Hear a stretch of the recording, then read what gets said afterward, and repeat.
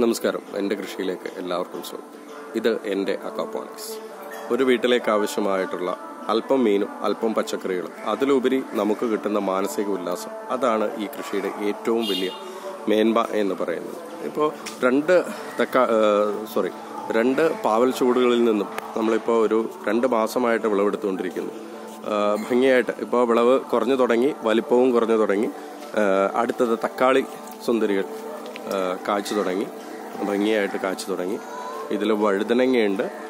ഒരു ഒരു ചുവട് വഴുതനങ്ങ. അത് മറഞ്ഞു കിടന്നതിൽ നിന്നും ഒരുപാട് തണ്ടുകൾ പൊട്ടി ഒത്തിരി ഉണ്ടായി ഇത് മത്സ്യങ്ങൾക്കുള്ള തീറ്റ കൂടിയാണ്. ഡക്ക് വീഡ് എന്ന് പറയും. നമ്മുടെ സൈഫൺ പ്രവർത്തിച്ച് കട്ട് ഓഫായി നിന്നു. ഇപ്പോൾ തന്നെ സൈഫൺ പ്രവർത്തിച്ച് തുടങ്ങും. നമുക്ക് അതിലേക്ക് നോക്കാം.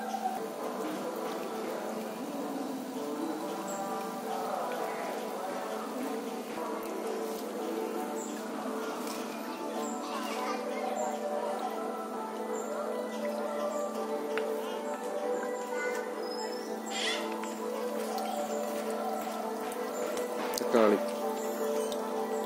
ഒന്ന് നോക്കണം ഇത്രയും ചെറിയ സ്ഥലത്തു നിന്ന് ഏകദേശം ഒരു ഇരുപതോളം വെണ്ട തൈയും അതുപോലെ തന്നെ ഒരു മൂന്ന് മൂന്ന് ചുവട് തക്കാളി സൈഫൺ പ്രവർത്തിച്ചു തുടങ്ങി. നമുക്ക് നോക്കാം. സൈഫൺ സിസ്റ്റത്തിന്റെ പ്രവർത്തനം. സൈഫൺ എന്ന് പറയുന്നത് നമ്മൾ ഈ അക്വാപോണിക്സിൽ കല്ലുകളാണ് മീഡിയമായിട്ട് ഉപയോഗിച്ചേക്കുന്നത്. അപ്പോൾ അതിൽ നിന്നും വെള്ളം ഒരു കണ്ടോ ഈ ഫിൽട്ടർ വഴി ഇതാണ് ഒരു മോട്ടർ. ആ മോട്ടർ വഴി ഫിൽറ്ററിന് അരിഞ്ഞ വെള്ളം ഈ ഗ്രാവൽ ബെഡിലേക്ക് ചെല്ലുന്നു. ആ ഗ്രാവൽ ബെഡിൽ ഒരു സൈഫൺ സംവിധാനം അവിടെ സെറ്റ് ചെയ്തിട്ടുണ്ട്. ആ സൈഫൺ സംവിധാനം ഒരു പ്രത്യേക അനുഭവത്തിൽ വെള്ളം നിറയുമ്പോൾ അത് ഈ അടിച്ചു കയറുന്ന വെള്ളത്തിന്റെ പത്തിരട്ടി ഫോഴ്സിൽ താഴത്തേക്ക് വരും. അപ്പോൾ വെള്ളത്തിൽ നല്ല രീതിയിൽ എയറേഷനും കൂടും. പിന്നെ നിങ്ങൾക്ക് കാണാം ആ വെള്ളത്തിന്റെ ക്വാളിറ്റി. അതി അതായത് അത്ര ശരിക്കും നമ്മളൊരു എന്താ പറയുക വാട്ടർ പ്യൂരിഫയറിൽ വരുന്ന വെള്ളത്തിന്റെ ഇതായിരിക്കും. നിങ്ങൾക്ക് കാണാം. കണ്ട? അവിടെ അങ്ങോട്ട് അടിച്ചു കയറുന്നതിന്റെ ഫോഴ്സ് എന്ന് പറയുന്നത് ഇതിന്റെ പത്തിലൊന്നേ ഉള്ളൂ. പക്ഷേ ഇങ്ങോട്ട് വരുന്ന വെള്ളം എന്ന് പറയുന്നത് ക്രിസ്റ്റൽ ക്ലിയർ വെള്ളമാണ്. അതാണ് ഇതിന്റെ പ്രത്യേകത. ശുദ്ധമായ വെള്ളം. അപ്പോൾ വെള്ളമില്ലാത്ത സ്ഥലത്തും നമുക്ക് ഈ അക്കപ്പോണിക്സ് ചെയ്യാം എന്നുള്ളതാണ്. പക്ഷേ ഇതിൽ ഒരുപാട് തട്ടിപ്പുകൾ നടക്കുന്നുണ്ട്. അതായത് ഒരുപാട് വലിയ യൂണിറ്റുകൾ കൊമേർഷ്യൽ യൂണിറ്റുകൾ അത് അറിവില്ലായ്മ കൊണ്ട് ചെയ്യുന്നതാണ്.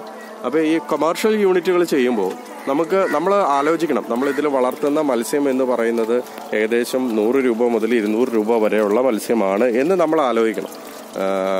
അപ്പോൾ എന്നിട്ട് വേണം നമ്മൾ ഇതിന്റെ യൂണിറ്റിന്റെ സൈസും ഇതും. പിന്നെ നമ്മുടെ പരിസരത്ത് ആളുകൾ മത്സ്യം കഴിക്കുന്നതാണോ? ഇങ്ങനെയൊക്കെ നോക്കിയിട്ട് വേണം നമ്മളൊരു കൊമേർഷ്യൽ യൂണിറ്റിനെ കുറിച്ച് ചിന്തിക്കുക അതല്ലെങ്കിൽ എല്ലാ വീട്ടിലും അല്പം